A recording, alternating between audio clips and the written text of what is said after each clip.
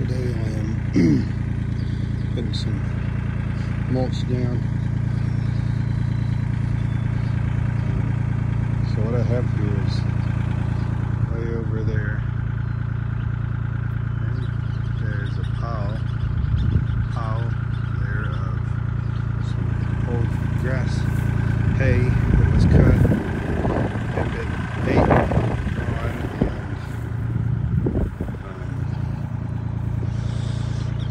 and, was just the waste of some goats that I had for a while and it's been sitting there for a little over a year. Um, so I'm going to try to use that as a mulch um, and see how it is. You can tell I've already got some down here right in there. It's kind of hard to see because it blends in, but we're going to give this a shot to see if I can use that as a weed barrier, help hold moisture, and there'll be some good fertilizer in there. Um, good nutrients.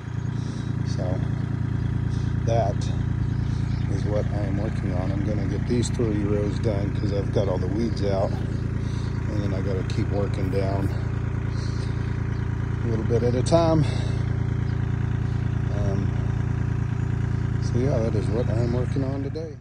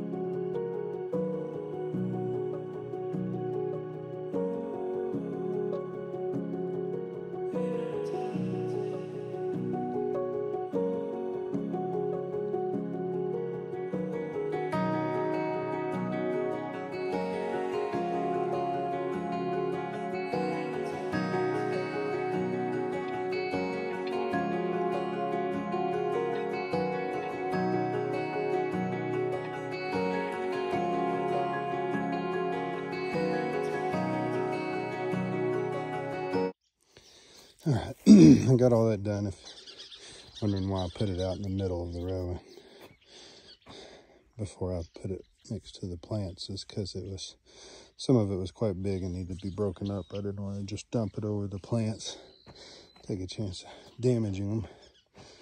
So yeah, we're gonna we got a lot more to go. I've got to still go through and pull the weeds here all the way down. Um, I've got other stuff to do today, before, so I can't get to that just yet. But to start, um, we'll see too because I'm going to water all this in today because it's supposed to get to high 90s, um, maybe even get to 100. Um, so I need to water it. You can tell the corn's already needing a drink. Um, anyway, so we're going to see kind of how much uh, we, we, got probably over a week before there's a chance of rain. Um, so I'll have to water again. So it'll be neat to see how much better this does with the mulch on it to help with water retention versus out here where I don't have that mulch yet. so it'll be a neat little experiment to see how well that does. Um, you know, sometimes uh, you think you might have to get certain types of mulch and uh, certain things to, you know, go buy stuff, but you'd be amazed what you can do. Like I said, that was just some uh, grass, uh, plains blue stem, other native grasses around here that was cut for hay and was not obviously eaten all the way up, gone through and I scraped it all out and let it sit there and now I've got free mulch, you know, dual dual purpose. So if any of y'all have animals and feeding them grass and scrape some of that out, let it sit for a while and boom. It's a it's fertilizer too because there's, you know, manure in there and everything. Be real good, real good for it. So also, I don't know if you can see here, those are about to bloom. These are light red kidney beans, is what the, no, no, those are Jacob's cattle beans. Sorry, I was wrong. Is new. I've never eaten them. People said they're quite good, so I'm excited. But yeah, you can see they're, they're about to bloom. Get them a good drink today.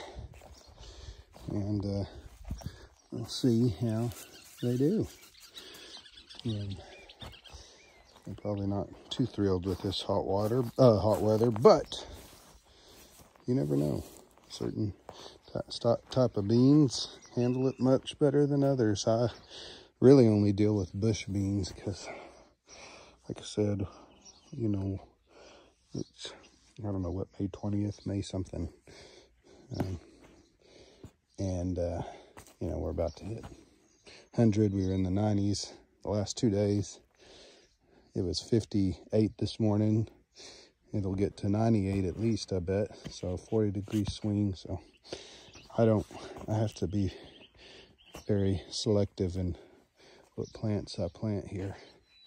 Um, you know, another reason I did corn in between like I've done here is because to offer shade for the beans to get them out of that sun because most plants that say full sun don't necessarily mean the kind of full sun we get because it's from, uh, as you can tell, there's no trees.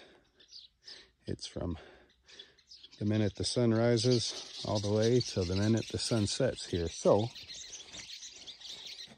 I found even black-eyed peas, some jade green beans, which can handle some serious heat. Um, they all do far better if they get at least half a day's shade. So I'm using the corn as a shade. Plus the green, the both the beans will help bring nitrogen to them. So there's uh, you know, that the old Three Sisters type planting. I don't really deal much with the squash because then I get so crowded in there. I can't really get to it at times. So it's first year trying this this way. Um, one other thing that's unique about this is I have two different varieties of corn in here planted at different times. Um, that was uh, done on purpose. Um, obviously, I'd hoped the first planting all came up, but it was an older seed, and uh, and so I didn't get as much germination as I wanted, and so I waited a month and planted a different variety, and I'll show you all a trick when it obviously gets close to the time of how I can keep them from cross-pollinating because uh, they have a same day maturity. Um, so yeah, that's what I'm working on.